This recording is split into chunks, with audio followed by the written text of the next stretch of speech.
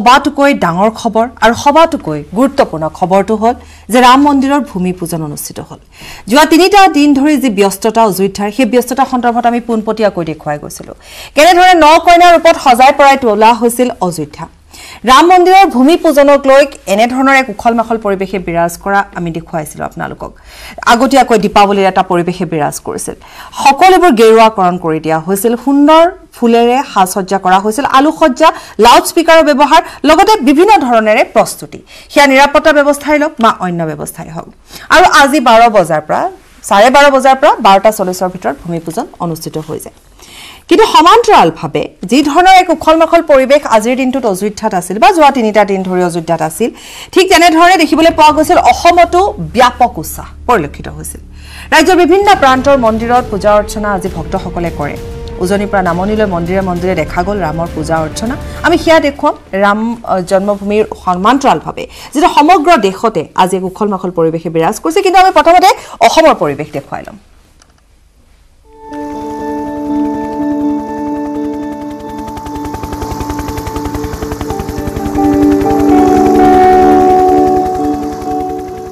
দীৰ্ঘদিনীয়া অপেক্ষাৰ অৱসান।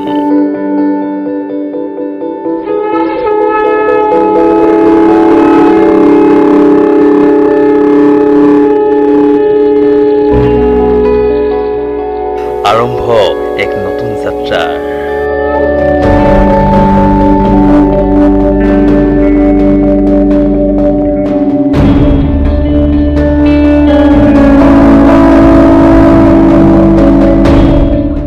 অযোধ্যাত সূচনা এক নতুন যুগৰ।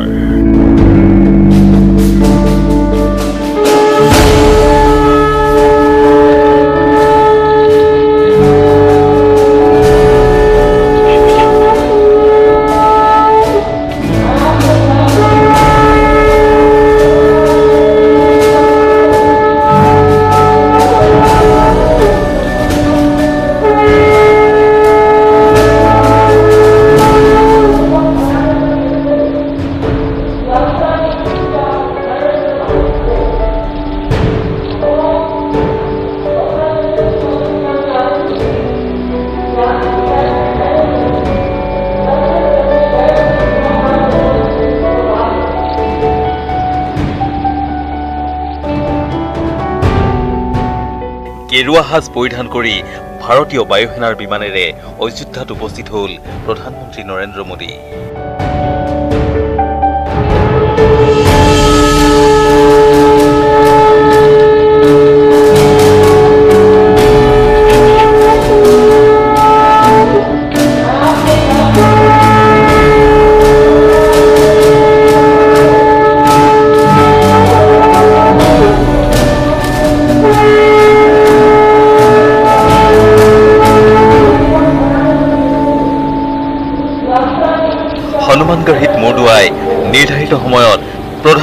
প্ৰধানমন্ত্ৰী মোদী বহিলহি পূজাৰ মঞ্চত ॐ स्वस्ति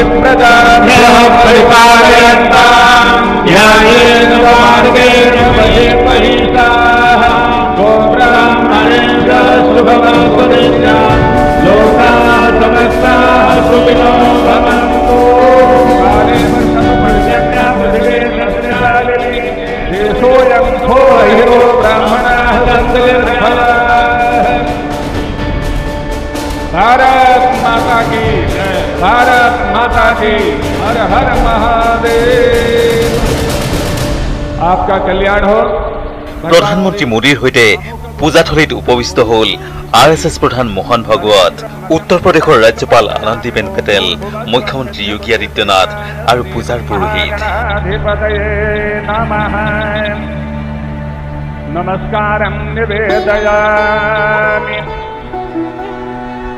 नमः नमस्कारं निवेदयामि भूम्यादिपूजनं गन्धाक्षपुष्प ॐ स्वर्गै নিৰ্ধাৰিত লগ্নত প্ৰধানমন্ত্ৰী মোদীয়ে কৰিলে অযোধ্যাৰ ৰাম মন্দিৰৰ ভূমি পূজন सत्योषममृतं स्वादीय आदीयते आम्नाय प्रवणैरलं পুষ্পাঞ্জলিৰ অন্তত বাৰ বাজি চৌৰাল্লিছ মিনিটত নিৰ্দিষ্ট স্থানত ৰূপৰ সীতা বহুৱাই প্ৰধানমন্ত্ৰী মোদীয়ে স্থাপন কৰিলে ৰাম মন্দিৰৰ আধাৰশিলা এশ পঁয়ত্ৰিশগৰাকী নিমন্ত্ৰিত গণ্যমান্য ব্যক্তিৰ সন্মুখত মোদীয়ে ৰাখিলে ভাষণ सियावर रामचंद्र की सियावर रामचंद्र की जय सिया राम जय सिया राम आज ये जयघोष सिर्फ़ सियाराम की नगरी में ही नहीं सुनाई दे रहा, बल्कि इसकी गुंज पूरे विश्व भर में है।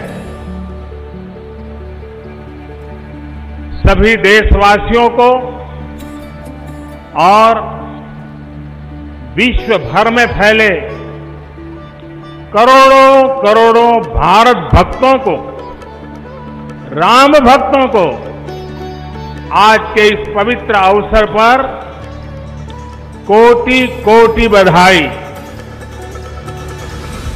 राम काज किनु बिनु मोहि कहाँ बिसरा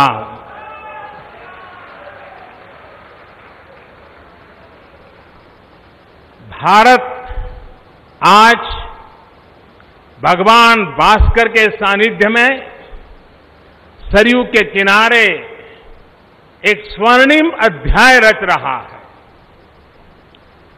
कन्याकुमारी से क्षीर भवानी तक, कोटेश्वर से कामाख्या तक, जगन्नाथ से केदारनाथ तक, सोमनाथ से काशी विश्वनाथ तक, समेत शिखर से श्रवण बेलगोला तक, बोध गया से सारनाथ तक अमृतसर साहब से पटना साहिब तक, अंडमान से अजमेर तक, लक्षद्वीप से लेह तक, आज पूरा भारत राममय है।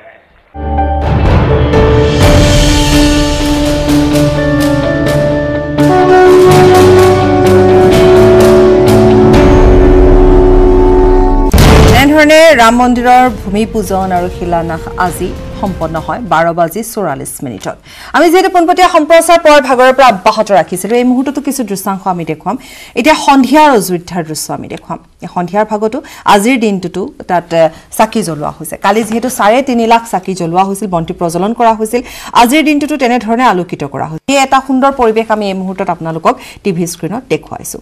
আমি যিহেতু কৈছিলোঁ যে অসমৰ পৰিৱেশ আমি দেখুৱাম। গতিকে আৰু কিছু সময়ৰ পাছত আমি অসমৰো পৰিৱেশ দেখুৱাম যিহেতু আজিৰ দিনটোত সমগ্ৰ দেশৰ লগতে অসমতো বিভিন্ন ঠাইত পূজা অৰ্চনা কৰা হৈছে সেয়া আমি দেখুৱাই যাম। কিন্তু এই মুহূৰ্তত পোনপটীয়াকৈ দৃশ্য দেখুৱাইছোঁ অযোধ্যাৰ পৰা। আৰু এয়া হৈছে আজিৰ এতিয়াৰ সন্ধিয়াৰ ভাগৰ দৃশ্য। আৰতি কৰা হৈছে বন্তি প্ৰজ্বলন কৰা হৈছে। আৰু এক সুন্দৰ দৃশ্য এই মুহূৰ্তত প্ৰত্যক্ষ কৰা হৈছে। নিৰাপত্তা কটকটীয়া কৰি তোলা হৈছিল পুৱাৰ ভাগতো আমি দেখুৱাইছিলোঁ এতিয়াও। আৰু এই মুহূৰ্তত দেখিবলৈ পোৱা গৈছে এক সুন্দৰ আলোকসজ্জা। আৰু এই মুহূৰ্তৰ যি ৰং যিটো আমি দিনৰ ভাগতো কৈছিলোঁ যে এটা সুন্দৰ ৰং হালধীয়া ৰঙেৰে উজ্জ্বল হৈ পৰিছিল অযোধ্যা। কিন্তু এই মুহূৰ্তত যি আলোকসজ্জা কৰা হৈছে সেয়া কিছু পৰিমাণে বেলেগ। গতিকে এক সুন্দৰ আলোকসজ্জা এই মুহূৰ্তত কৰা হৈছে বন্তি প্ৰজ্বলন কৰা হৈছে আৰু দীপাৱলী আগতীয়া দীপাৱলী যেন পালন কৰা হৈছে সেয়া এটা পৰিৱেশ দেখিবলৈ পোৱা গৈছে এটা আধ্যাত্মিক পৰিৱেশ দেখিবলৈ পোৱা গৈছে। আৰু আজিৰ দিনটোত আমি দেখুৱাই গৈছিলোঁ কেনেধৰণে অতি সুন্দৰভাৱেৰে এটা আধ্যাত্মিক পৰিৱেশৰ মাজেৰে ভূমি পূজন কৰা হয়। আৰু সেই যি সময় সেই যি ক্ষণ বাৰ বাজি ত্ৰিছ মিনিটৰ পৰা চৌৰাল্লিছ মিনিটৰ সেই সময়খিনিক অভিজিত ক্ষণ বুলি কোৱা হয়। গতিকে জ্যোতিষ শাস্ত্ৰ অনুসৰি সেই ক্ষণ চোৱাৰ পাছত তেনেধৰণে শিলান্যাস কৰা হয়। নটা শিল যিহেতু তাত শ্ৰীৰাম লিখা আছিল। আনহাতে এই ক্ষেত্ৰত দেখিবলৈ পোৱা গৈছিলে যে মুদ্ৰা দিয়া হয় ৰূপৰ মুদ্ৰা দিয়া হৈছে। গতিকে যিখিনি নিয়ম তেনেধৰণে তাত গঢ়ি তোলা হৈছে। সমান্তৰালভাৱে কভিড নাইণ্টিনৰ প্ৰটকলো মানি চলা হৈছে। প্ৰধানমন্ত্ৰীগৰাকীক দেখিবলৈ পোৱা গৈছিলে যে যি সময়ছোৱাত হনুমান গাঢ়ী মন্দিৰত তেওঁ উপস্থিত হৈছিল তেতিয়াও তেওঁ সেই প্ৰটকল মানি চলিছিল। আৰু যি সময়ত ভূমি পূজনৰ বাবে ৰাম মন্দিৰত উপস্থিত হৈছিল তেতিয়াও দেখিবলৈ পোৱা গৈছিলে যে কভিড নাইণ্টিনৰ প্ৰটকল অনুযায়ী হাত ধুইহে প্ৰৱেশ কৰিছিল। আৰু সামাজিক ব্যৱধানৰ কথা বাৰে বাৰে কোৱা হৈছে যাৰ বাবে বহু সংখ্যক লোকক আমন্ত্ৰণ যিহেতু কৰা নহ'ল। নিৰ্দিষ্ট ব্যক্তিসকলক আমন্ত্ৰণ কৰা হ'ল। গতিকে সেয়া আমি জনাই গৈছিলোঁ দিনটোৰ ভাগৰ কাৰ্যসূচী। এই মুহূৰ্তত এক সুন্দৰ দৃশ্য আমি পোনপটীয়াকৈ দেখুৱাইছোঁ।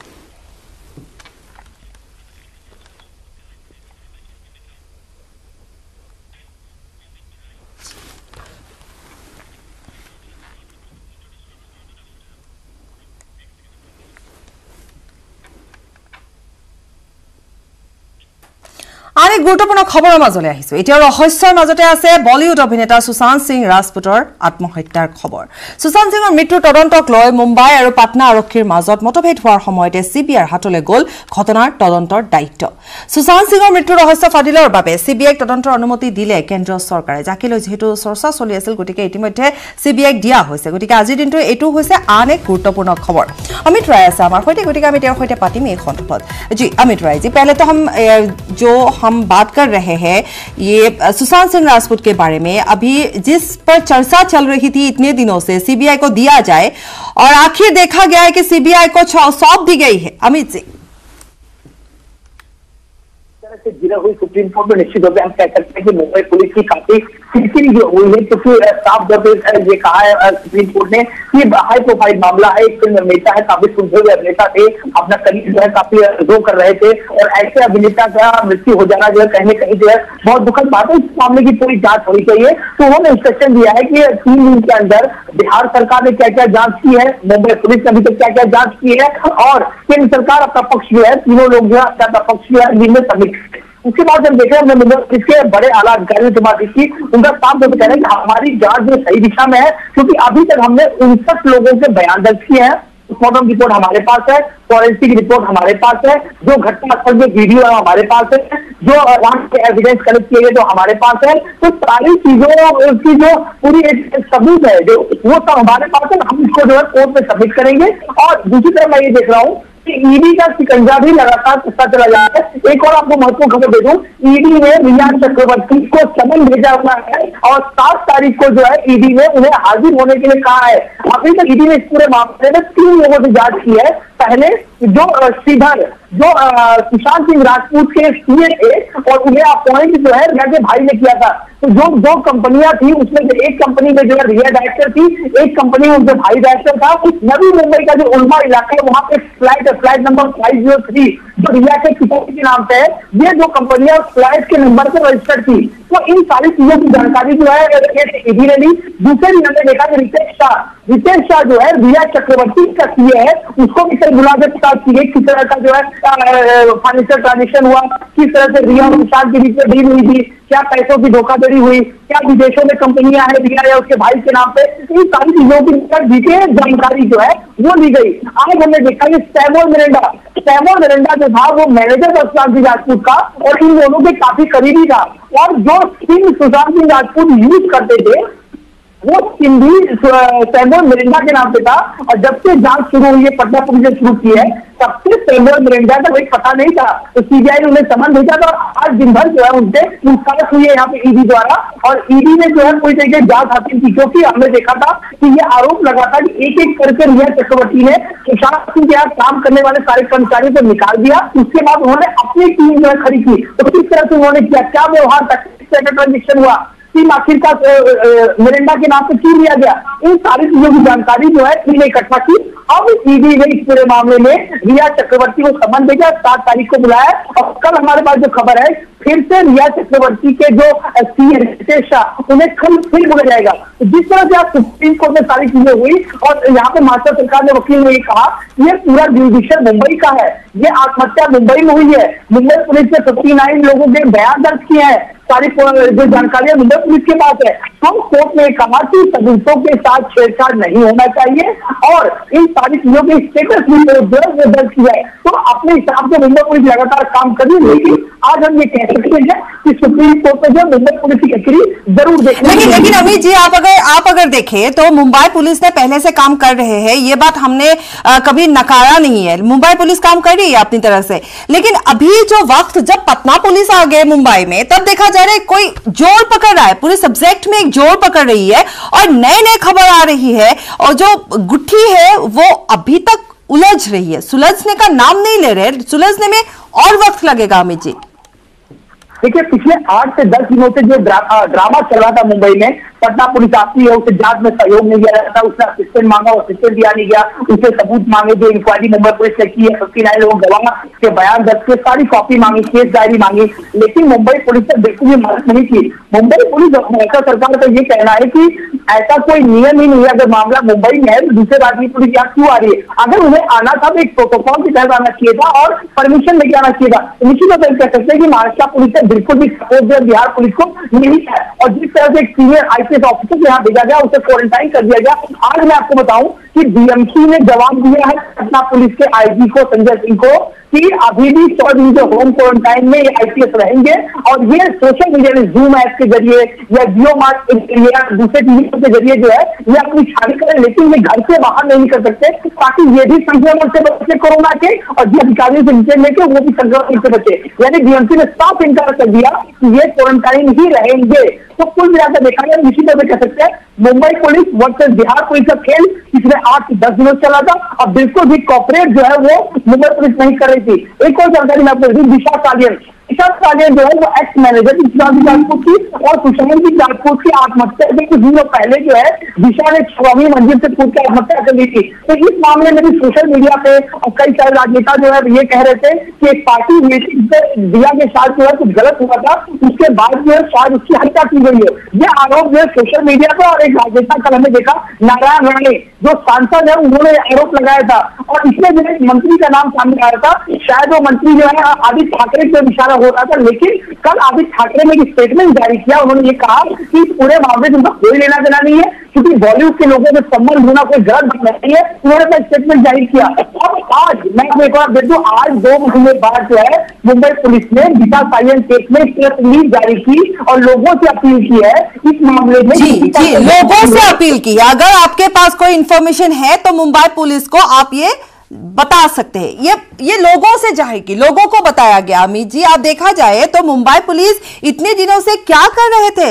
अब लोगों की ज़रूरत पड़ गई। दिशा की मामला जब ये सामने आई जबकि ये गुट्ठी जो थी और ये केस जो थी दिशा की वो मतलब बंद हो गया था कोई बात नहीं आ रही थी। जब सुशांत की आ, मौत के बाद सारी जो चीज़ें हैं कुछ अलग अलग तरीके से आने लगी। जबकि देखा जाए तो रिया चक्रवर्ती की जो मामला था पूछताछ के बाद कुछ भी नहीं निकला था। लेकिन जस्टिस सुशांत नाम से जब सोशल मीडिया पे हर लोगों ने आवाज़ उठाई, तब जाके एक मोड़ पकड़ी अमित। अगर देखा जाए तो ये लोगों की तो बात है।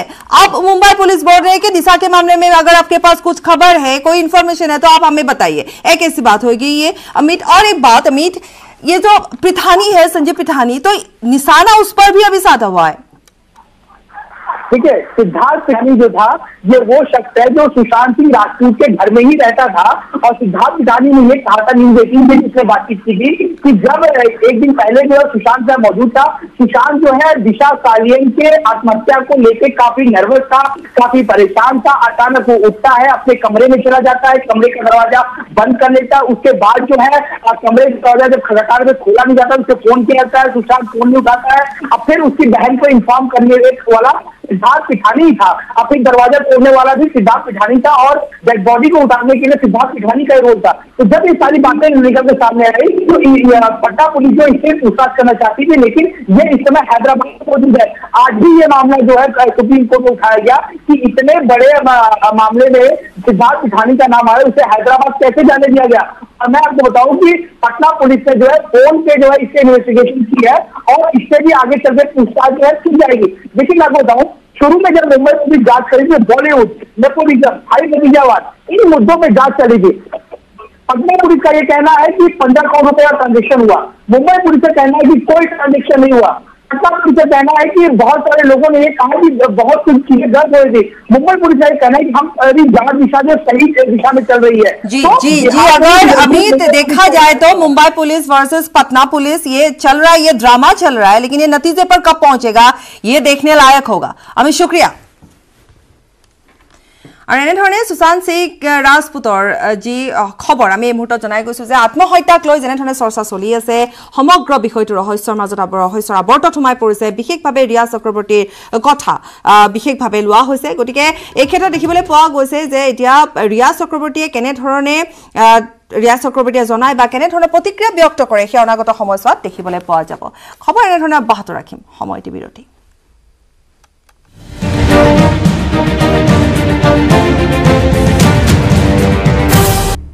বিৰতিৰ পাছত স্বাগতম। আমি জনাই গৈছিলোঁ আজি ৰাম মন্দিৰৰ ভূমি পূজন সন্দৰ্ভত আৰু আমি প্ৰথমতেই জনাইছিলোঁ যে অযোধ্যাৰ লগতে অসমতো ব্যাপক উৎসৱ পৰিলক্ষিত হৈছে আজিৰ দিনটোত। ৰাজ্যৰ বিভিন্ন প্ৰান্তৰ মন্দিৰত পূজা অৰ্চনা কৰিছে ভক্তসকলে। উজনিৰ পৰা নামনিলে মন্দিৰে মন্দিৰে দেখা গ'ল ৰামৰ পূজা অৰ্চনা। এক প্ৰতিবেদন আগবঢ়াইছোঁ।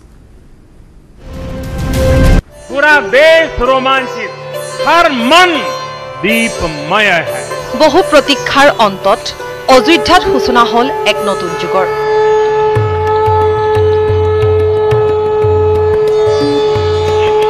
ৰাম জন্মভূমিৰ ভূমি পূজন অনুষ্ঠিত হৈ যায় আজি দিনৰ বাৰ বাজি ত্ৰিছ মিনিটৰ পৰা বাৰ বাজি চল্লিছ মিনিটৰ ভিতৰত।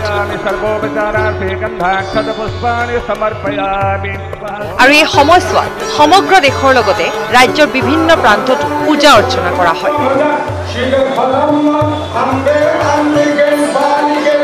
অযোধ্যাত ৰাম মন্দিৰৰ ভূমি পূজনৰ সৈতে সংগতি ৰাখি গোচাইগাঁও মহকুমাৰ শ্ৰীৰামপুৰস্থিত শ্ৰীৰাম মন্দিৰত যজ্ঞাহুতি দিয়া হয়। আনন্দ উল্লাসেৰে যজ্ঞাহুতিত অংশগ্ৰহণ কৰে বহুতে। আনহাতে কৰোণা ভাইৰাছৰ প্ৰতি লক্ষ্য ৰাখি সীমিত সংখ্যক ভক্ত যজ্ঞানুষ্ঠানত অংশগ্ৰহণ কৰে। ইফালে অখিল ভাৰতীয় হিন্দু মহাসভাই মালিগাঁও স্থিত ৰাম মন্দিৰত পূজা অৰ্চনাৰ আয়োজন কৰে। পাঁচশ বছৰীয়া বিবাদৰ নিষ্পত্তি হোৱাৰ পিছত ৰাম মন্দিৰৰ ভূমি পূজনত উৎসাহিত হৈ পৰিছে ভক্তসকল। ইফালে ডিব্ৰুগড়তো আনন্দমুখৰ পৰিৱেশে বিৰাজ কৰিছে। পুৱাৰ ভাগৰে পৰা খনিকৰ জগন্নাথ মন্দিৰত চাকি বন্তি ধূপ ধূনা জ্বলাই শংখ দবাকাহে আনন্দেৰে মুখৰিত হৈছে।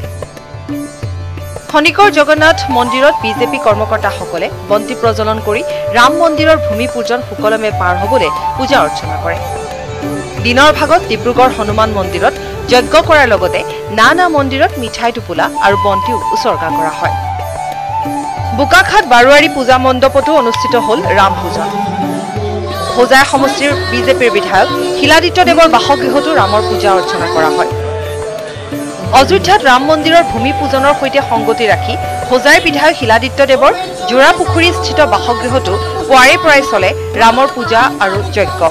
উল্লেখযোগ্য যে দুহেজাৰ ষোল্ল চনত অযোধ্যাৰ পৰা অনা ৰামৰ প্ৰতিমূৰ্তি অস্থায়ী বেদীত অধিষ্ঠিত কৰাই বিধায়কগৰাকীয়ে এনেদৰে পূজা অৰ্চনা কৰাৰ অন্তত মন্তব্য কৰে। পাঁচশ বছৰৰ অধিক আমাৰ অযোধ্যাৰ ৰাজা ভগৱান তুল্য ৰামচন্দ্ৰজী তেওঁ আজি তেওঁৰ মন্দিৰৰ ভূমি পূজন হৈ আছে এইটো এটা বিশাল কথা। কাৰণ নিজৰ মাতৃভূমিত নিজৰ জন্মভূমিত তেওঁৰ মূৰ্তি ভাঙি পেলাইছিলে বাবৰ নামঘৰৰ মাটি আমাৰ সত্ৰৰ মাটি তেওঁলোকে যি যি প্ৰকাৰে হাজাৰ হাজাৰ বিঘা মাটি বেদখল কৰি ৰাখিছে। মোৰ বিশ্বাস আমাৰ ধৈৰ্য সহ্যৰ বাবে আজি আমি সফল হৈছোঁ। ৰাম জন্মভূমি আমি উভতি পোৱাৰ। সেই হিচাপে আমাৰ বিশ্বাস যে আমি সত্ৰৰ মাটি আমাৰ মন্দিৰ মাটি যিবিলাক বেদখল কৰিছে এই বাবৰৰ বংশধৰসকল যিসকল অসমতো বাস কৰি আছে আমি সেইখিনি আমি মুক্তি কৰিব পাৰিম। জাগিৰততো দেখা গ'ল ভগৱান শ্ৰীৰামৰ পূজা অৰ্চনা। ব্যৱসায়ী তথা উদীয়মান একাংশ যুৱকে শ্ৰীৰামৰ পূজা অৰ্চনা কৰাৰ লগতে জয় শ্ৰীৰাম ধ্বনিৰে মুখৰিত কৰি তোলে সমগ্ৰ অঞ্চল।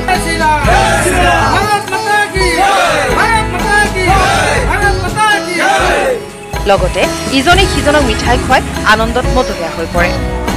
মঙলদৈতো একেধৰণে পূজা অৰ্চনা কৰা হয়। নৱনিৰ্বাচিত বিজেপিৰ সভাপতিসহ বিধায়ক সাংসদে পূৰ্ণাহুতি দিয়ে। মঙলদৈ বিধায়কৰ উদ্যোগত বুধবাৰে অযোধ্যাত ৰাম মন্দিৰৰ ভূমি পূজনক লৈ পূৰ্ণযজ্ঞ আৰম্ভ কৰা হয়। উপস্থিত থাকে মঙলদৈৰ বিধায়ক গুৰুজ্যোতি দাস বিজেপিৰ সভাপতি ৰঞ্জিত দাস সাংসদ দিলীপ শইকীয়া আৰু বিধায়ক বিনন্দ শইকীয়াকে ধৰি বিজেপিৰ বহু কৰ্মী। ঢেকীয়াজুলিতো ৰাম সেনাৰ বৃহৎ বাইক ৰেলী উলিওৱা হয়। ৰামধনীৰে মুখৰিত হৈ পৰে আকাশ বতাহ।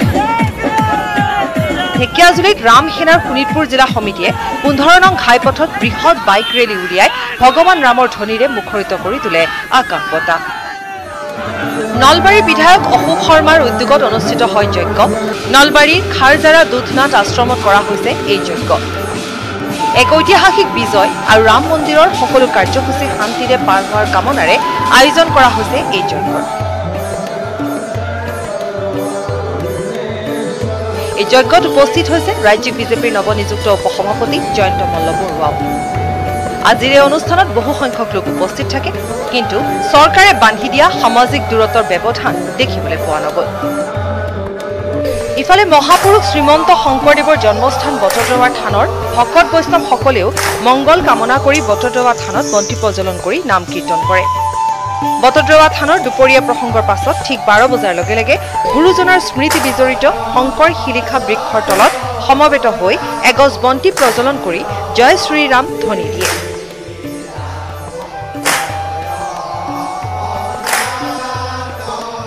লাল গণেশৰ জ্যোতিকুচিটো একে আনন্দমুখৰ পৰিৱেশে বিৰাজ কৰিছে। জ্যোতিকুচিটো ৰামক স্মৰণ কৰি পূজা অৰ্চনা কৰা হয়। উপস্থিত থাকে শ্ৰী বিধান চন্দ্ৰ দেৱৰাই বিশ্ব হিন্দু পৰিষদৰ সহ সম্পাদক শ্ৰী কৃষ্ণ কুমাৰ সিং শ্ৰী মুনিন্দ ডেকা আৰু Debashish Ghosh. Bureau' report News eighteen Assam North East.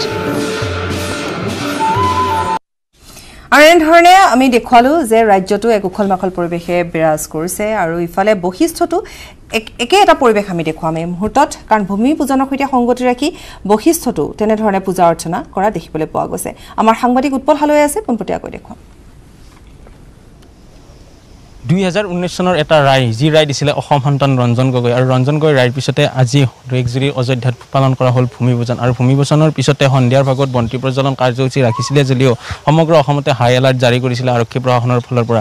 আৰু পৃথকে পৃথকে কেইবাখনো মিটিং উচ্চস্তৰীয় সভা আয়োজন কৰিছিলে য'ত কোৱা হৈছিলে যে বিশেষ লোকৰ সমাগমৰ পৰা পৰিয়াল থাকিব লাগিব। আৰু এই মুহূৰ্তত যিহেতু সকলো অযোধ্যাত ৰামৰ ভূমি পূজন কৰা হৈছে আৰু ৰাম মন্দিৰৰ বাবে আৰু ভূমি পূজনৰ বাবে সকলোৱে নিজৰ যি সামৰ্থ্য অনুযায়ী বন্তি প্ৰজ্বলন কৰিছে আৰু এই মুহূৰ্তত আমি উপস্থিত আছোঁ মহানগৰীৰ ঐতিহাসিক বশিষ্ঠাশ্ৰম দেৱালয় আৰু বশিষ্ঠাশ্ৰম দেৱালয়ৰ পৰিৱেশ কিছু মোৰ সতীৰ্থই দেখুৱাব যিহেতু দুহেজাৰতকৈ অধিক বন্তি প্ৰজ্বলন কৰিছে। ইয়াৰে দিছপুৰৰ যিসমূহ ভাৰতীয় জনতা পাৰ্টীৰ কাৰ্যকৰ্তা আছে আৰু বশিষ্ঠ মন্দিৰ ইতিমধ্যে আটক ধুনীয়াকৈ সজাই পৰাই তুলিছে। আৰু ক'ব গ'লে আবতৰীয়া দেৱালীৰ সদৃশেষ পৰিৱেশে বিৰাজমান কৰিছে বশিষ্ঠ আশ্ৰম দেৱালয়। যিহেতু কৰোণা ভাইৰাছৰ ভয়াৱহৰ প্ৰতি সকলো শংকিত হৈছিলে আৰু আতংকিত হৈছিলে সেয়েহে ভাইৰাছৰ বাবে সকলো ঘৰত থাকি আবদ্ধ থাকি ইয়াৰে যিসকল কিছু কম সংখ্যক লোকে ওলাই আহি এনেদৰে তেখেতসকলৰ যি দায়িত্ব বা জয় শ্ৰীৰাম ধ্বনিৰে তেখেতসকলে এনেদৰে মন্দিৰ ভাগত বন্তি প্ৰজ্বলন কৰিছে আৰু এয়া হৈছে সামগ্ৰিক পৰিৱেশ বশিষ্ঠ আশ্ৰম দেৱালয়ত প্ৰায় দুই হাজাৰতকৈ অধিক বন্তি প্ৰজ্বলন কৰিছে আৰু ৰাতিপুৱা ঠিক দুপৰীয়া বাৰ বজাত প্ৰধানমন্ত্ৰী নৰেন্দ্ৰ মোদীকে ধৰি উত্তৰ প্ৰদেশৰ মুখ্যমন্ত্ৰী যোগী আদিত্যনাথে ভূমি পূজন কৰিছিল আৰু ভাৰতীয় জনতা পাৰ্টীৰ কেইবাগৰাকীও বিষয়ববীয়া উপস্থিত আছিলে। আৰু ইয়াৰ সমান্তৰালভাৱে এতিয়া বশিষ্ঠ আশ্ৰম দেৱালয়তো বহুসংখ্যক ভাৰতীয় জনতা পাৰ্টীৰ দলৰ লোক আছে আৰু এয়াই হৈছে বৰ্তমান বশিষ্ঠ আশ্ৰম দেৱালয়ৰ তাৰে পৰিৱেশ। আৰু ইয়াৰ সমান্তৰালভাৱে একাংশ লোক আছে আমি তেখেতসকলৰ পৰা কিছু কথা জানিবলৈ চেষ্টা কৰিম। আৰু ইতিমধ্যে মোৰ সতীৰ্থই দেখুৱাইছে বশিষ্ঠ আশ্ৰম দেৱালয়ত এনেদৰে দুই হাজাৰতকৈ অধিক বন্তি প্ৰজ্বলন কৰা হৈছে। ৰাজ্যৰ অকল বশিষ্ঠ আশ্ৰম দেৱালয়তে নহয় আমাৰ নিউজ এইটিনৰ জৰিয়তে বিভিন্ন স্থানত বন্তি প্ৰজ্বলন হোৱাৰ কিছু দৃশ্যাংশ দেখুৱাইছে। ইতিমধ্যে আৰু এইসমূহ দৃশ্য দেখুৱাব আৰু ইয়াৰে যিসকল লোক আছে তেখেতসকলৰ পৰা কিছু কথা জানিবলৈ চেষ্টা কৰিম। প্ৰায় পাঁচ বছৰৰ অন্তত এনেদৰে এক ৰাম মন্দিৰ বনোৱা হ'ল। কি ক'ব গোটেই কথা পাঁচশ বছৰৰ অন্তত যি আমাৰ এই ৰাম মন্দিৰৰ যি আজি এই এটা ধুনীয়া অনুষ্ঠান ভূমি পূজন কাৰ্যসূচী এটা হৈ গ'ল। কালি আমি ভাবিছিলোঁ যে এই অনুষ্ঠানটো বহুত জাক জামকেৰে কৰিম বুলি ভাবিলোঁ। প্ৰ- প্ৰশাসনৰ দায়িত্ব হ'ল যে তেনেকৈ একো মানে কৰিব নোৱাৰিব বুলি। তো আমি সেনেকৈ থুলমূলকৈ ভাবি কালি এটা ডিচিজন ল'লোঁ যে বশিষ্ঠ মন্দিৰতে আমি বন্তি প্ৰজ্বলন আৰু মিঠাই বিতৰণেৰে আমি এই ৰাম মন্দিৰৰ এই শুভ অনুষ্ঠানটো আমি পালন কৰিব লৈছোঁ। আৰু আন এজন বিষয় আছে তেখেতৰ পৰা কিছু কথা জানিবলৈ চেষ্টা কৰিম। মিঠাই বিতৰণ কৰিছে আপোনালোকে সকলোৰে মংগলময় হওক বুলি কি ক'ব? না আজি পাঁচ আগষ্ট দুহেজাৰ বিছ। পাঁচ আগষ্ট দুহেজাৰ ঊনৈছত আজি দিনটোতে কাশ্মীৰৰ পৰা তিনিশ সত্তৰ তিনিশ সত্তৰ ধাৰা আঁতৰা হৈছিলে। আৰু দুহেজাৰ বিছৰ আজি পাঁচ আগষ্টত গোটেই ভাৰতবৰ্ষৰ বছৰ বছৰ ধৰি থকা এটা বিষয় গোটেই ভাৰতবাসীৰ অন্তৰৰ বিষয় ৰাম মন্দিৰ নিৰ্মাণ। ৰাম মন্দিৰ নিৰ্মাণৰ আজি শুভক্ষণ উপস্থিত হৈছে। আৰু আমি যি ধৰণে মানে উৎসাহ কৰিব লগাইছিল লাগিছিলে কিন্তু কৰোণাৰ প্ৰয়োগৰে হওক বা কিছুমান মানে আনুষ্ঠানিক ল এণ্ড অৰ্ডাৰ চিটুৱেশ্যনৰ কাৰণে হওক আমি পৰা নাই। তথাপিও আমি ঐতিহ্যখনৰ সাক্ষী হ'ব বিচাৰিছোঁ। আৰু আমাৰ অঞ্চলতে আমাৰ এতিয়া বশিষ্ঠ দেৱালয় বশিষ্ঠ মন্দিৰ মোৰ অসমৰ লগতে ভাৰতবৰ্ষৰ গোটেই ভাৰতবৰ্ষ জানে গোটেই বশিষ্ঠ মন্দিৰতে স্থানীয় যুৱক যুৱতীৰ সহযোগত বন্তি প্ৰজ্বলন কৰি আমাৰ মনৰ আনন্দ প্ৰকাশ কৰিছোঁ। লগতে এই ঐতিহ্যখনৰ সাক্ষী হ'ব বিচাৰিছোঁ। এয়া আছিলে ইয়াৰে ভাষ্য আৰু ইতিমধ্যে আমি উল্লেখ কৰিছোঁ যে আবতৰীয়া দেৱালে বিৰাজমান কৰিছে। এতিয়া বশিষ্ঠ আশ্ৰম দেৱালয় বশিষ্ঠ আশ্ৰম দেৱালয় নহয় সমগ্ৰ ভাৰতবৰ্ষত আজি আবতৰীয়া দেৱালে বিৰাজমান কৰিছে যিহেতু অযোধ্যাত ৰাম মন্দিৰ স্থাপন হৈছে। আৰু এতিয়া সকলোৱে কামনা কৰিছে সকলোৰে জয় জয় ময়ময় হওক সকলো মংগলময় হওক। অযোধ্যাত অসমৰ ৰঞ্জিতৰ ৰাম কথা ৰঞ্জিতৰ শিল্পকৰ্মত উদ্ভাসিত ৰামায়ণৰ কাহিনী। সাত বছৰ শ্ৰমেৰে মূৰ্তি সাজি উলিয়াইছে ৰঞ্জিত মণ্ডলে। ৰঞ্জিত মণ্ডলৰ শিলচৰৰ গৃহত এতিয়া আনন্দমুখৰ পৰিৱেশে বিৰাজ কৰিছে। উৎফুল্লিত হৈ পৰিছে ৰঞ্জিত মণ্ডলৰ পৰিয়াল তথা গাঁওবাসী। আৰু সেই ৰঞ্জিত মণ্ডলে এতিয়া আমাৰ সৈতে পোনপটীয়াকৈ সংযুক্ত হৈ আছে। গতিকে তেওঁৰ অনুভৱ বিষয়ে আমি জানিম। আমি এই মুহূৰ্তত সংযুক্ত হৈছোঁ ৰঞ্জিত মণ্ডল ডাঙৰীয়াৰ সৈতে। ৰঞ্জিত মণ্ডল ডাঙৰীয়া প্ৰথমতে আপোনাক শুভেচ্ছা। আৰু লগতে আপোনাক জনাইছোঁ যে সঁচাকৈয়ে আমি আপোনাক লৈ গৌৰৱান্বিত। আমি আপোনাৰ পৰা জানিব বিচাৰিম আপোনাৰ অভিজ্ঞতা তথা অনুভৱৰ কথা। ৰঞ্জিত মণ্ডল ডাঙৰীয়া। মই ৰঞ্জিত মণ্ডল শিলচৰ আইটখোলা ৰামকৃষ্ণপল্লীৰ মোৰ ঘৰ। এইটো ভাগ ভাল আছ- ভাল আছিল কি যে আমাৰ অসমত জন্ম যে যিটো মই নিজে গৰ্ববোধ কৰোঁ মই। আজি যে অসমৰ পৰা ইয়াতে আহি কিনে ৰামকৃষ্ণপল্লীৰ পৰা অসমৰ পৰা আহি কিনে যে ৰাম মন্দিৰৰ ৰামকথা কুঞ্জ যিটো আদেশ পাইছো মই মাননীয় অশোক দ্বাৰা এইটো মই সৌভাগ্য মনত কৰোঁ হয়। আপুনি আম- চাব বিচাৰিম এতিয়া আপোনাৰ জৰিয়তে। আৰু লগতে আপোনাৰ আমি আজিৰ দিনটোত আপোনাৰ কেনেকুৱা লাগিছে সেয়াও আমি জানিব বিচাৰিম। কিন্তু আমি জানিব বিচাৰিম আপোনাৰ শিল্পকৰ্মৰ কথা। আমি জানিব বিচাৰিম সাত বছৰ শ্ৰমেৰে সাজি উলিওৱা মূৰ্তিৰ কথা। ৰঞ্জিত মণ্ডল ডাঙৰীয়া। মানে আহ, মূৰ্তিকলা হ'ল আহ, সৰুৰ পৰা এইটো মানে এই মূৰ্তি বনোৱা এইটো আমাৰ মানে গড গিফ্ট আছিল যিটো ইনবৰ্ন কোৱালিটি ক'ব পাৰে। যে সৰুৰ পৰা মই বনাই মানে ডাঙৰ হৈছো মই। আৰু তেতিয়া সুকুমাৰ ভট্টাচাৰ্য আছিল ছাৰ সিজনে মোক মানে মাৰ্গদৰ্শক হিচাপে আমাক মানে লাখুদত্ত আৰু বেলেগ বেলেগ জেগাত মূৰ্তি বনাইছো মই। আৰু শিলচৰত বহুত জেগা বনাইছো অসমতো বনাইছো মই। তাৰপিছতে মই লৈ আহিছে অসমৰ কিৰণ শৰ্মা ছাৰ, অসম সাহিত্য সভাৰ প্ৰেচিডেণ্ট যিটো আছিল অসম বেদ বিদ্যালয়ৰ ছেক্ৰেটাৰী আছিল সিজনে। যিজনে মোক লৈ আহিছিলে যেতিয়া গান্ধী মেলা প্ৰতিষ্ঠিত হৈছিল, তেতিয়াৰ পৰা মোক লৈ আহিছিল যে বেদব্যাসৰ মূৰ্তি বনাবৰ কাৰণে, যিটো গুৱাহাটীৰ ৰূপনগৰত আছে। এইটো মূৰ্তি উদ্ঘাটনৰ পিছতে মাননীয় অশোক সিংহজী আহিছিল। তাৰ পৰা অশোক সিংহজী মোক মানে লৈ আহিছিল দিল্লী। তাৰ পৰা মানে নাইনটিন নাইনটি ছেভেনৰ কথা। তাৰ পৰা আমাৰ মানে ভাৰতৰ বহু বহু জাগাৰ মানে মূৰ্তি বনোৱাৰ কথা কৈছিল যিটো মানে সৌভাগ্য আছিল। আৰু যিটো এতিয়া মই তাৰপিছতে যেনেকুৱা দীনদয়াল সংস্থানত আৰু বেলেগ বেলেগ জাগাত ভাৰতৰ বিভিন্ন স্থানত মূৰ্তি বনাইছো মই সোৱা লাখ মূৰ্তি ভাৰতৰ এইটো আমাৰ ওপৰত দায়িত্বত আছিল। দুহেজাৰ ছয় কুম্ভ মেলাতে যিটো এ, দান কৰিছিল মূৰ্তিবিলাক আৰু তাৰপিছতে এই দুহেজাৰ তেৰত এইটো পাছ হৈছে যিটো ৰামকথা কুঞ্জ অশোক মাননীয় অশোক সিংহজী কৈছিল মোক যে ৰামকথা কুঞ্জৰ কাৰণে এ, ৰাম মন্দিৰৰ এ, লাগিব পৰিসৰৰ এটা হলৰ দৰে বনিব এইটোত এ, ৰামকথা কুঞ্জ বনিব যিটো মানে দায়িত্ব আমাৰ ওপৰত দিছে যিটো মই পুত্ৰাশ্ৰী যজ্ঞৰ পৰা একদম ৰাজ্যাভিষেক পৰ্যন্ত আমাক মানে আদেশ দিছে যিটো মই বনাই আছো। হয় আপুনি কি কি বনাইছে এতিয়া? আৰু আপোনাৰ সৈতে কিমান সংখ্যক লোক আছে আপোনাৰ সৈতে কাম কৰি আছে আমি সেয়াও জানিব বিচাৰিম। আৰু যদি আপুনি দেখুৱাব পাৰে আপুনি যদি দেখুৱাবও পাৰে আমাক অলপ। এতিয়াতো মই কাৰ্যালয়ৰ ভিতৰতো নহয় ৰুমৰ ভিতৰতে আছে মানে মানে যিটো ৰুমৰ ভিতৰত মই কাম কৰি আছো যিটো আমাৰ ল'ৰা ল'ৰা কাম কৰি আছে আপুনি অলপমান চাব পাৰিব এই যে কাম কৰি আছে ল'ৰা ল'ৰাজনে ল'ৰা আমাৰ ছোৱালী ম- মোৰ দেউতা মোৰ লগতে আছে যে দুহেজাৰ পোন্ধৰত দেউতা আহিছিল যে মানে আমাৰ লগতে সহযোগিতা কৰি আছে আহ, সি সহযোগিতাৰ কাৰণে আহিছে মোক যে এতিয়া মানে মূৰ্তি ঢাচা হেল্প কৰি আছে সিজনে। আৰ ৰাম মন্দিৰৰ কামৰ কাৰণে এ, এই যিটো আছে এইটো এতিয়া মোটামুটি আপনাৰ পুত্ৰাশ্ৰী যজ্ঞৰ পৰা যিটো কাম কৰি আছে সীতাহৰণ চল্লিশটা স্ক্ৰিপ্ট আমাৰ তৈ- মানে মোটামুটি নিৰ্মাণ হৈ গৈছে। আৰু এতিয়া যেনেকুৱা আহ, সীতাহৰণৰ পিছত যেনেকুৱা আহ, ৰাম ৰাৱণৰ যুদ্ধ আৰু বেলেগ বেলেগ মূৰ্তি আছে যে হয় এই মূৰ্তিটো আমাৰ আগতে বনাব লাগিব। যিটো মানে ৰাম মন্দিৰ হোৱাৰ লগে লগতে আমাৰ মূৰ্তি হোৱাৰ মই আশা কৰিছো। নিশ্চয়। ৰঞ্জিত মণ্ডল ডাঙৰীয়া আপোনাক বহুত বহুত ধন্যবাদ। আপুনি আমাৰ সৈতে সংযুক্ত হ'ল তাৰ বাবে ধন্যবাদ। আমি আমাৰ দৰ্শকসকলক দেখুৱালোঁ। ধন্যবাদ জনাইছোঁ আপোনাক। খবৰ আৰু আছে কিন্তু সময় বিৰতি।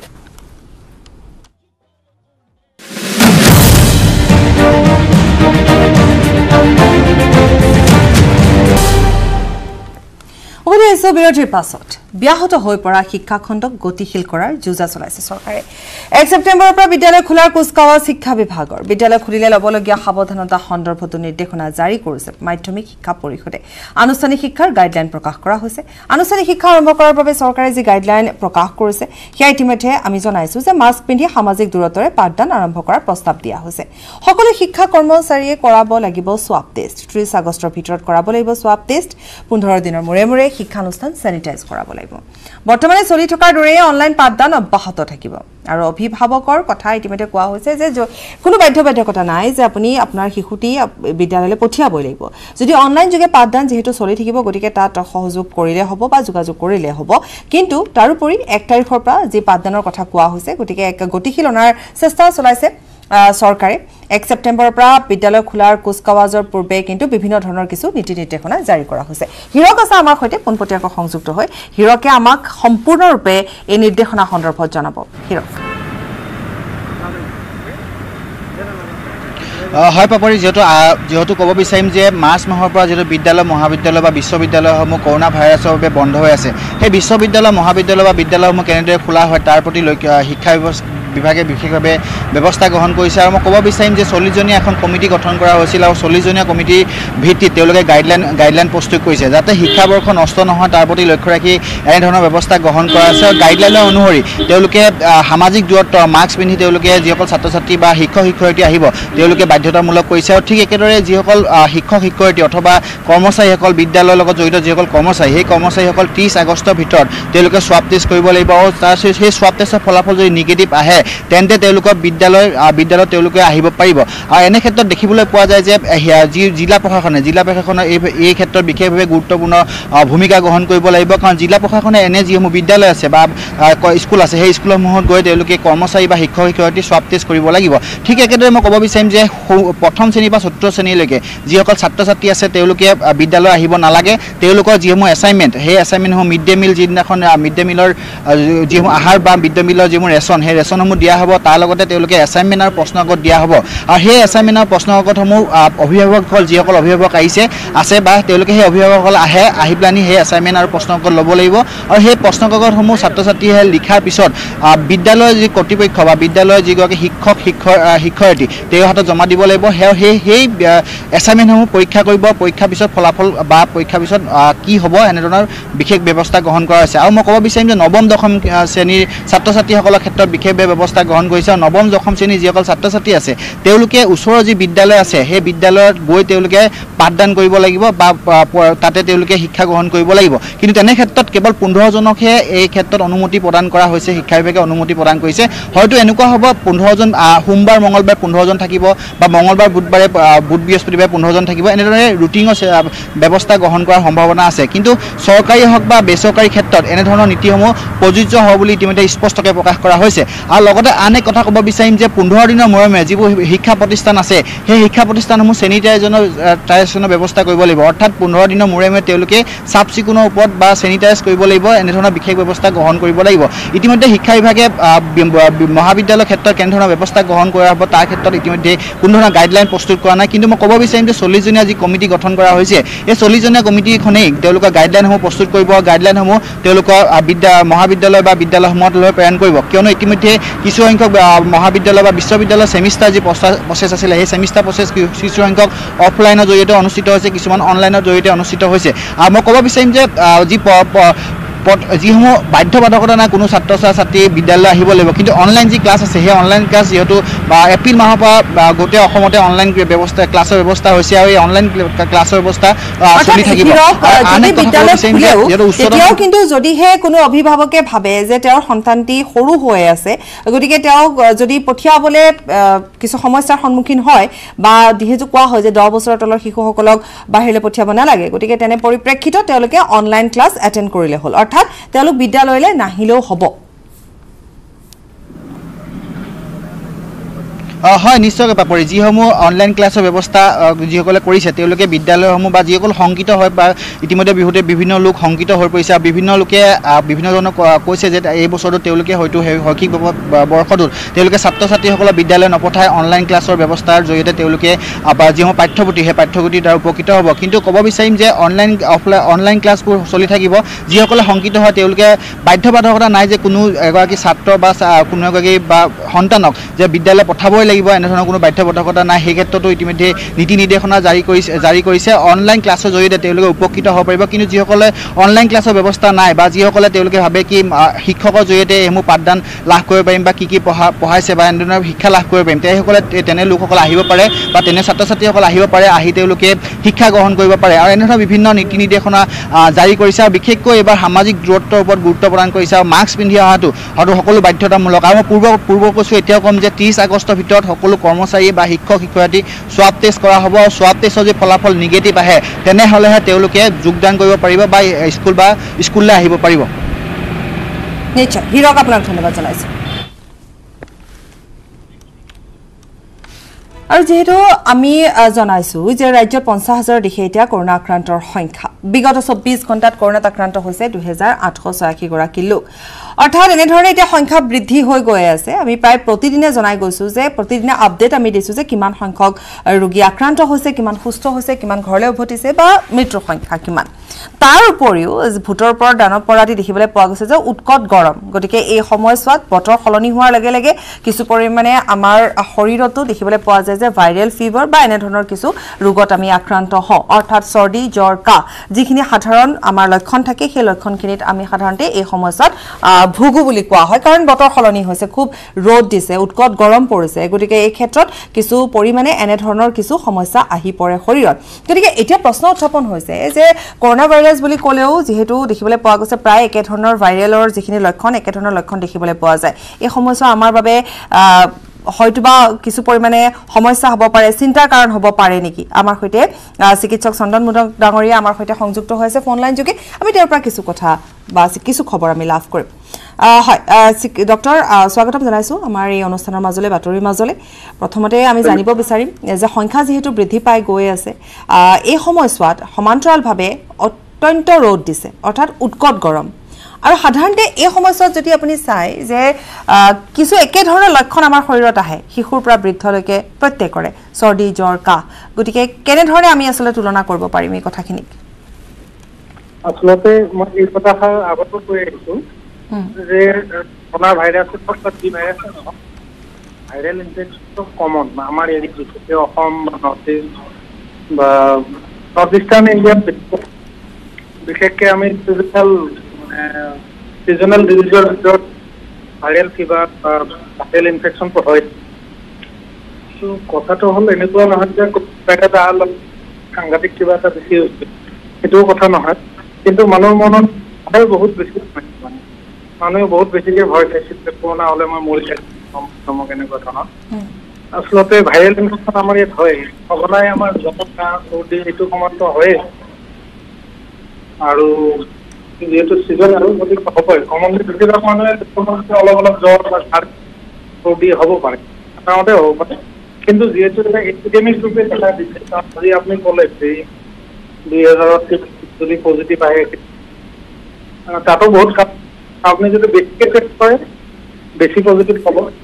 যেতিয়া কমকে টেষ্ট কমকে পাইছিল আৰু এতিয়া দিনে দিনে কিন্তু সংক্ৰমণটো বাঢ়ি আছে কাৰণ অলপ এতিয়া আহি গৈছে চবে বাহিৰত ওলাইছে ইজনৰ পৰা ইজনৰ গালৈ ভাইৰাছটো যাবই ত' গতিকে সংখ্যা বাঢ়িব হৈছে।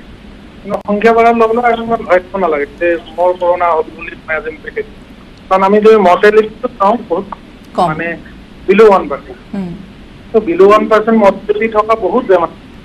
আমি মই ডক্টৰ হিচাপত কৈছো আমি আগতে যেনেকে হস্পিটেলত পেচেণ্ট মৰে ৰোগী এজন মৰে আগতে যেনেকে মৰিছিল এতিয়াও তেনেকে মৰে। আমাৰ পাৰ্চেণ্টেজ ডেথ বহুত বেছি বাঢ়ি অভাৰঅল যদি গুৱাহাটী মেডিকেল কলেজত ডেইলি যদি আগতে পঞ্চাছজন ৰোগী মৰিছিল এতিয়াও পঞ্চাছজন মই ডিব্ৰুগড় হস্পিটেলত কাম আগতে যদি দুজন তিনিজন মৰিছিল এতিয়াও দুজন তিনিজনে মৰে। তেনেকুৱা মানে তাৰমানে এইটো নগণ্য মৃত্যুৰ হাৰটো বহুত সেইটো দুটা কথা বুজায় যে এটা হ'ব পাৰে হেল্থ কেয়াৰ চিষ্টেম বহুত আমি পেচেণ্টক বহুত আৰ্লি তেখেতক হাৰমনিতে অক্সিজেন দি মেলি দি বা ইনভাইটেড ভালকে ট্ৰিটমেণ্ট কৰিছোঁ কাৰণে মৰা নাই। সেইটো এটা বুজায় নাইবা এইটো বুজায় যে আমাৰ মানুহখিনিৰ ইমিউনিটি যথেষ্ট হয়। তাৰমানে আমি সঘনাই ভাইৰেল পাই থাকোঁ। আৰু কৰোণা ভাইৰাছটো মই M B B S first ইয়েৰতে পাইছোঁ। তেতিয়া আমি নাইনটিন নাইনটি নাইনত ভাইৰলজি পঢ়োঁ মাইক্ৰলজি মাইক্ৰবায়লজি পঢ়োঁ। তেতিয়াই আমি কৰোণা ভাইৰাছৰ বিষয়ে পঢ়িছোঁ আৰু এইটো এটা নেগলেক্টেড ভাইৰাছ মানে আপুনি ভাইৰলজিৰ মানুহক সুধিব বা মাইক্ৰলজিৰ মানুহক সুধিব এদিনৰ ভাইৰাছ বঠা ভাইৰাছ কৰোণা ভাইৰাছ এইবোৰ মানে হয় সৰু সৰু পোৱালিবোৰৰ ডায়েৰিয়া হয় বটিকা হয় ৰোটা ভাইৰাছ ইনফেকশ্যন সঘনাই হয়। তেনেকে কৰোণা ভাইৰাছটোক মানে পাত্তা দিয়া নাযায়। সাধাৰণতে এইবাৰ যিহেতু নভেল কৰোণা ভাইৰাছ হ'ল নামটো অলপ বেলেগ ধৰক কভিড নভেল কৰোণা ভাইৰাছ লগে লগে বস্তুটো অলপমান ফকাছত আহিল এইটো বা কি বস্তু হ'ব কিন্তু আকৌ ইউৰোপীয়ান কাণ্ট্ৰিবোৰত বা আমেৰিকাত ইমান মানুহ মৰিছে। লগে লগে আমাৰ ঘৰে হয় গৈছে। নিশ্চয়। চন্দন মোদক ডাঙৰীয়া ধন্যবাদ জনাইছোঁ। আপুনি আমাক সুন্দৰকৈ এইখিনি কথা আপুনি আমাক জনালে। ধন্যবাদ আপোনাক। আৰু সঁচাকৈ এই সময়ছোৱাত মাথো পুনৰ এটাই কথা যে আমি সাৱধান হ'ব লাগিব সচেতন হ'ব লাগিব সজাগ হ'ব লাগিব চাফ চিকুণ হৈ থাকিব লাগিব হাত ধুব লাগিব মাস্ক পৰিধান কৰিব লাগিব। নিশ্চিতভাৱে আমি উৎকট গৰমতো যদি আমাৰ কিবা কাৰণত ভাইৰেল হয় তাৰ পৰাও আমি বাচি থাকিম। ধন্যবাদ ডক্টৰ চন্দন modak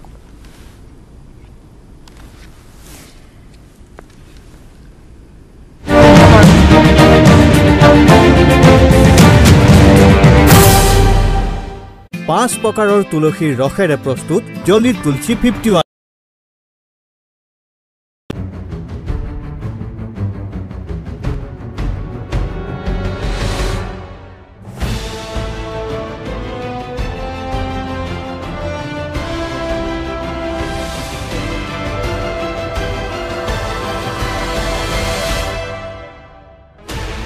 Sixteen channels, fifteen languages, twenty-six states, twelve hundred plus reporters, sixty-six point nine crore viewers. India's largest news network, News 18 Network.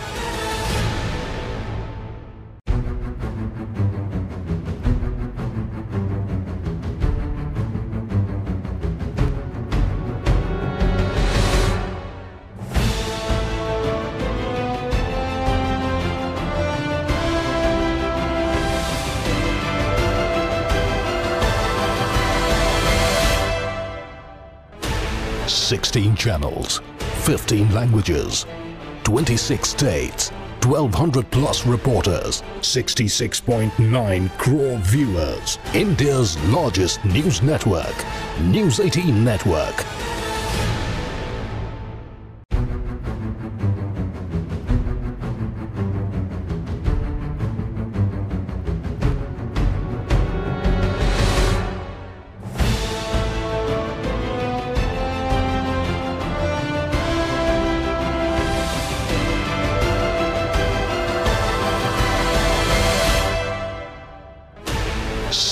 Channels, fifteen languages, twenty-six states, twelve hundred plus reporters, sixty-six point nine crore viewers. India's largest news network, News 18 Network.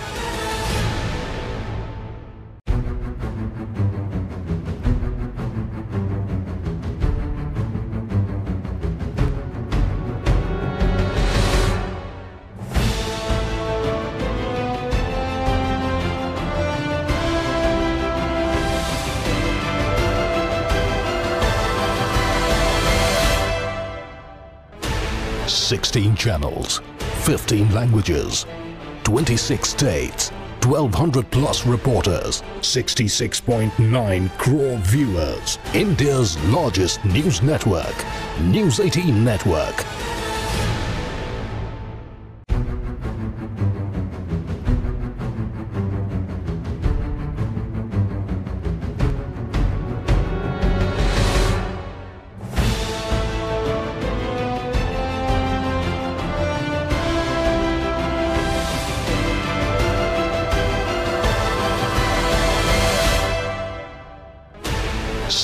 Channels, fifteen languages, twenty-six states, 1200 plus reporters, 66.9 crore viewers. India's largest news network, News 18 Network.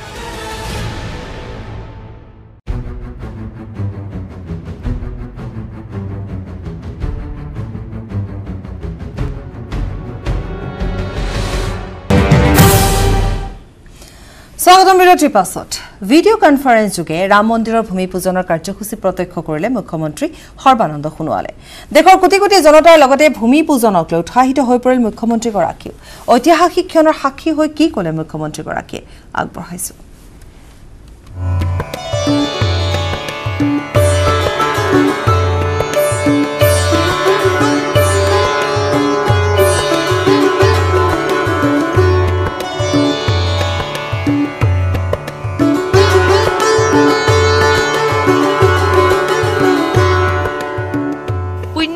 অযোধ্যাত মাননীয় প্ৰধানমন্ত্ৰী শ্ৰী নৰেন্দ্ৰ মোদী ডাঙৰীয়াৰ দ্বাৰা সম্পন্ন হোৱা শ্ৰীৰাম জন্মভূমি মন্দিৰৰ ভূমি পূজন অনুষ্ঠান দেশৰ কোটি কোটি জনগণৰ সৈতে একেলগে প্ৰত্যক্ষ কৰে মাননীয় মুখ্যমন্ত্ৰী শ্ৰী সৰ্বানন্দ সোণোৱালে।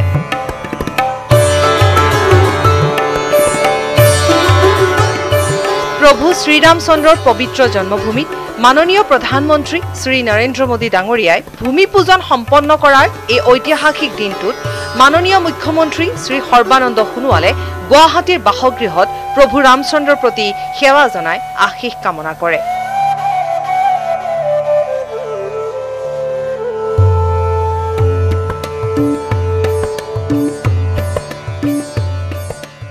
सदियों से देशवासियों का ही इंतजार था कि भगवान राम की जन्मभूमि पर मंदिर निर्माण हो। आज देशवासियों का ये जो सपने को साकार करने में परम आदरणीय प्रधानमंत्री जी ने जो कदम उठाए, इसके लिए हम सब गर्व महसूस कर रहा हूँ। और आज भूमि पूजन कार्यक्रम में प्रधानमंत्री ने निष्ठा से ये कार्यक्रम सफल रूप दिया। इसके लिए मैं हृदय से भक्ति भावनाओं से देश की परम आदरणीय प्रधानमंत्री जी को आभार व्यक्त करना चाहता हूँ।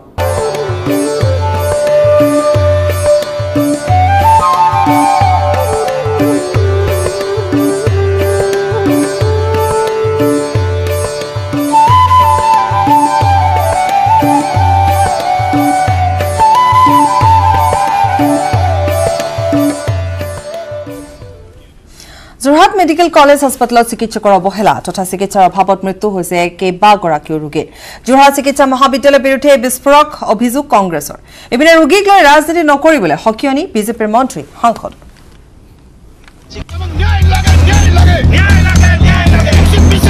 ৰোগীক লৈ ৰাজনীতি নকৰিব।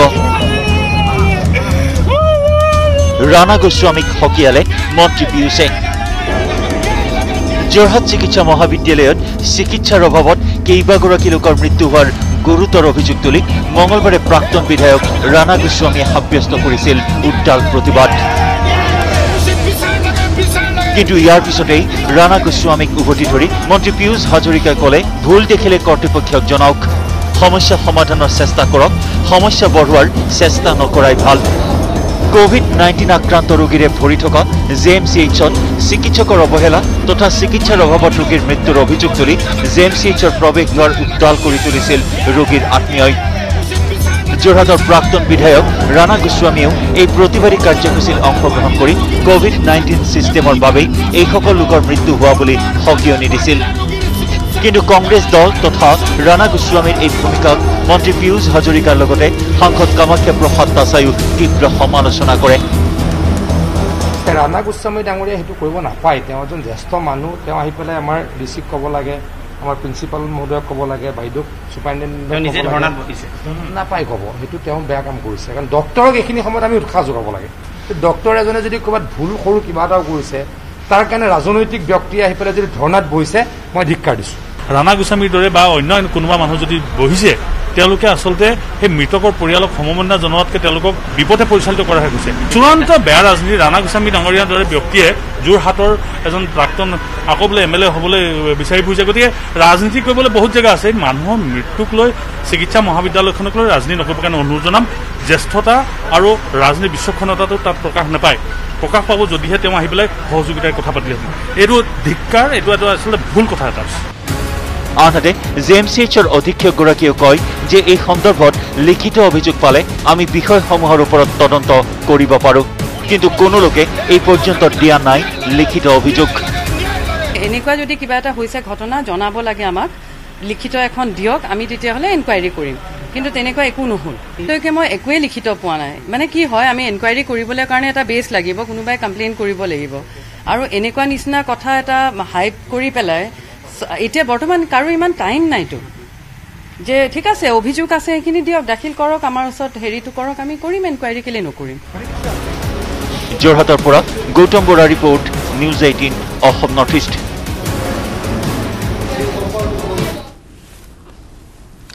প্ৰচণ্ড গৰম। বৰ্ধিত তাপমানে অসহ্যকৰ কৰি তুলিছে ৰাজ্যবাসী। ইয়াৰ মাজতে আঞ্চলিক বতৰ বিজ্ঞান বিভাগে ব্যক্ত কৰিছে বৰষুণৰ সম্ভাৱনা।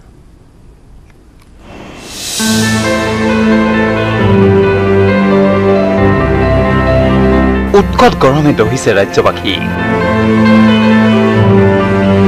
অসহ্য গৰমত জ্বলাশলা খাবলগীয়া হৈছে ৰাজ্যবাসীয়ে। উৎকট গৰমৰ পৰা ৰক্ষা পাবলৈ বজাৰত বৃদ্ধি পাইছে শীতল পানীয় নাৰিকলৰ পানীৰ সমাদৰ। সোমবাৰৰ দিনটোত গুৱাহাটীত সৰ্বোচ্চ তাপমান আছিল আঠত্ৰিশ ডিগ্ৰী চেলচিয়াছ মঙলবাৰে কিছু হ্ৰাস পাইছিল যদিও বুধবাৰে পুনৰ আঠত্ৰিশ ডিগ্ৰী চেলচিয়াছ অতিক্ৰম কৰে তাপমানে। ইফালে বৰঝাৰস্থিত আঞ্চলিক বতৰ বিজ্ঞান বিভাগৰ দাবী অহা চৌবিশ ঘণ্টাৰ ভিতৰত ৰাজ্যৰ কিছু ঠাইত পাতলীয়া বৰষুণ হোৱাৰ সম্ভাৱনা। অৱশ্যে গুৱাহাটী মহানগৰী আৰু দাঁতিকাষৰীয়া অঞ্চলত আকাশ মেঘাচ্ছন্ন হৈ থাকিলেও বৰষুণ অহাৰ সম্ভাৱনা কম। আজাৰৰ পৰা ধ্ৰুৱজ্যোতি কলিতাৰ সহযোগত Bolen Bhattacharya News eighteen Assam North East.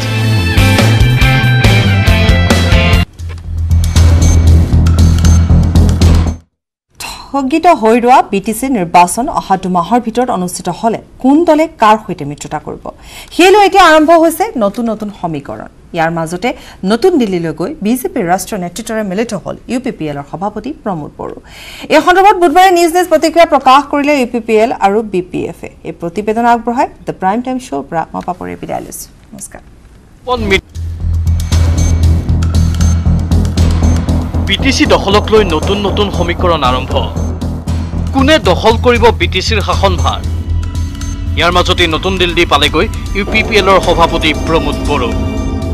বিজেপিৰ সভাপতি ৰঞ্জিত দাস আৰু সাংগঠনিক সম্পাদক ফণী শৰ্মাৰ সৈতে বিগত সাতাইছ জুলাইত দিল্লীলৈ গৈ গেৰুৱা দলটোৰ ৰাষ্ট্ৰীয় নেতৃত্বৰে প্ৰমোদ বড়োৱে পাতিলে কথা। খবৰ মতে গোপন মিত্ৰতা হ'ল বিজেপি ইউ পি পি এলৰ। কিন্তু এই সন্দৰ্ভত বুধবাৰে ইউ পি পি এলৰ সভাপতি প্ৰমোদ বড়োৱে ক'লে বি টি আৰ চুক্তিৰ সন্দৰ্ভতহে হৈছিল আলোচনা। বিজেপিৰে মিত্ৰতাৰ কথা হোৱা নাই আলোচনাত। দিল্লীত কোনো বিজেপিৰ লগত কথা পতা নাই। এইটো মানে এটা ৰাজনৈতিকভাৱে তেখেতসকলে সজাই পেলাই কোৱা কথা। দিল্লীত যিটো সাতাইছ জানুৱাৰীত বড়ো এটা শান্তি চুক্তি হৈ গ'ল এইটো ৰূপায়ণ কৰাৰ কাৰণেহে গৃহ বিভাগৰ যিবিলাক অফিচাৰ আছে তেখেতসকলক লগ কৰাৰ কাৰণে গৈছোঁ আৰু গৃহমন্ত্ৰীক লগ কৰাৰ কাৰণে গৈছিলোঁ। কিন্তু এইটো লৈ পেলাই যিটো কৈছে কি হীৰাকৰণীয়া ডাঙৰীয়াই বিজেপিৰ লগত কথা পাতিবলৈ গৈছে এইটো একদম মিছা কথা। আৰু হীৰাকৰণীয়া ডাঙৰীয়াই এইবিলাক কথা নিজৰ ৰাজনীতি লাভালাভৰ কাৰণে কৈ আছে।